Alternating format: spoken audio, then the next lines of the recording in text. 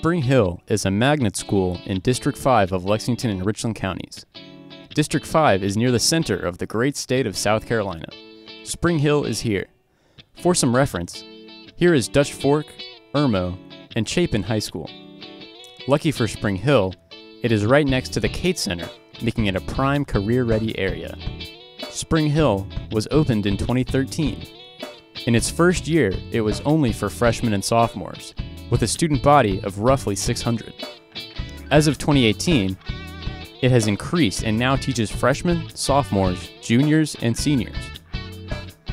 Spring Hill consistently makes outstanding scores on standardized tests such as the ACT and SAT, as well as AP exams, scoring above state and national average.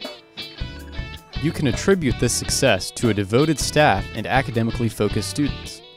Unlike most schools, Spring Hill does not host traditional sport related activities, meaning that there is no Spring Hill football team.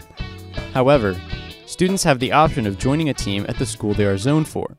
For example, if you are zoned for Dutch Fork but want to go to school at Spring Hill, you can attend Spring Hill, then, after school, drive over to Dutch Fork for football practice. Here is an interview with a Dutch Fork athlete who attends Spring Hill. Do you play a sport at any other school? Yeah, I play lacrosse at Dutch Fork High School How long have you been? uh, since my freshman year. Do you think playing a sport at a different school affects your achievements at Spring Hill? Yeah, I guess it does because it helps me like manage my time better, and so I mean one of my like goals is to like be able to manage my time better. You know, it does help with that. Spring Hill students are separated into five academies engineering, environmental, entrepreneurial, entertainment, and exercise science. Every major career path is covered in these five academies. The idea behind this is if you were a student in the Entertainment Academy, then even your core classes would have some content specific to the entertainment field. This makes Spring Hill a great choice for someone who wants a more career focused education. Spring Hill has made the district realize that magnet schools might be the future of high school education in South Carolina.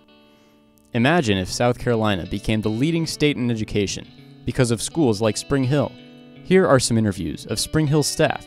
Let's see what they think about the school. What do you think of Spring Hill's lack of sports?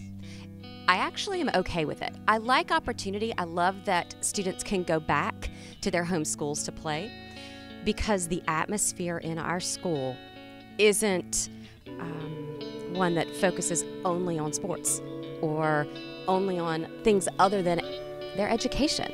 So I think it is neat that there's a school that actually focuses on what students are learning um, instead of what they're doing outside of it, but it doesn't take away from what students are doing outside of the school.